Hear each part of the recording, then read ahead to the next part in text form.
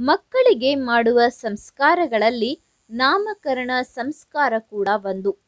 ತಂದೆ ತಾಯಿಯ ನೇತೃತ್ವದಲ್ಲಿ ಮಕ್ಕಳ ನಾಮಕರಣ ನಡೆಯುತ್ತದೆ.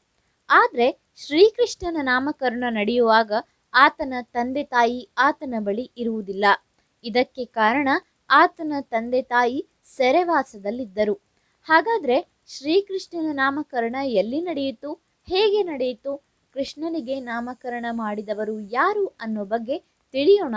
ಆದರೆ ಅದಕ್ಕೂ ಮೊದಲು ನೀವಿನ್ನು ನಮ್ಮ ಚಾನೆಲ್ನ ಸಬ್ಸ್ಕ್ರೈಬ್ ಮಾಡಿಲ್ಲ ಅಂದರೆ ಬೇಗ ಸಬ್ಸ್ಕ್ರೈಬ್ ಆಗಿ ಪಕ್ಕದಲ್ಲಿರುವ ಬೆಲ್ ಐಕಾನ್ ಪ್ರೆಸ್ ಮಾಡಿ.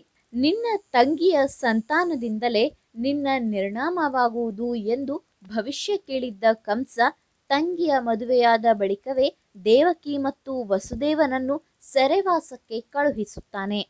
ಹೀಗೆ ದೇವಕಿಯ ಏಳು ಸಂತಾನವನ್ನ ಹುಟ್ಟಿದ ತಕ್ಷಣವೇ ಕೊಂದು ಹಾಕುವ ಕಂಸನಿಗೆ ಎಂಟನೇ ಸಂತಾನವಾದ ಕೃಷ್ಣನನ್ನು ಹಿಡಿಯಲು ಆಗುವುದಿಲ್ಲ.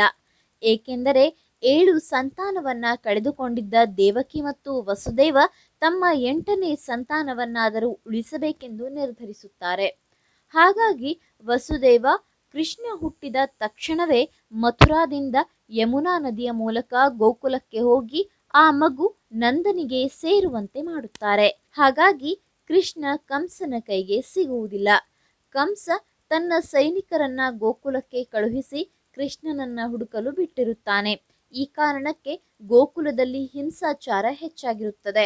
ಈ ಸಮಯದಲ್ಲಿ ನಂದನ ಮನೆಗೆ ಗರ್ಗಾಚಾರ್ಯರು ಬರುತ್ತಾರೆ. ಆಗ ನಂದ ಮತ್ತು ಯಶೋಧೆ ತನ್ನ ಮಗುವಿಗೆ ಮತ್ತು ಸೋದರಳಿಯನಿಗೆ ನಾಮಕರಣ ಮಾಡುವಂತೆ ಕೇಳುತ್ತಾರೆ.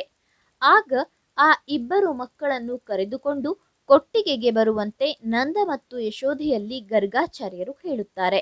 ನಂದ ಮತ್ತು ಯಶೋಧೆ ದನದ ಹಟ್ಟಿಗೆ ರಹಸ್ಯವಾಗಿ ತಮ್ಮ ಮಕ್ಕಳನ್ನ ಕರೆತರುತ್ತಾರೆ. ಹಿರಿಯನಾದ ಸೋದರಳಿಯನಿಗೆ ಮೊದಲು ನಾಮಕರಣವಾಗುತ್ತದೆ.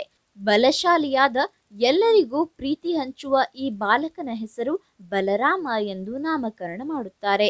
ನಂತರ ಕೃಷ್ಣನ ಲೀಲೆಗಳನ್ನ ಮೊದಲೇ ಬಲ್ಲವರಾದ ಗರ್ಗಾಚಾರ್ಯರು ಕೃಷ್ಣನ ವರ್ಣ ಕಪ್ಪಾಗಿದ್ದ ಕಾರಣಕ್ಕೆ ಶ್ರೀ ಕೃಷ್ಣನೆಂದು ನಾಮಕರಣ ಮಾಡುತ್ತಾರೆ. ಅಲ್ಲದೆ ಈತ ಭವಿಷ್ಯದಲ್ಲಿ ತನ್ನ ಚಮತ್ಕಾರಗಳಿಂದ ಪ್ರಸಿದ್ಧಿ ಗಳಿಸುವನೆಂದು ಹೇಳುತ್ತಾರೆ.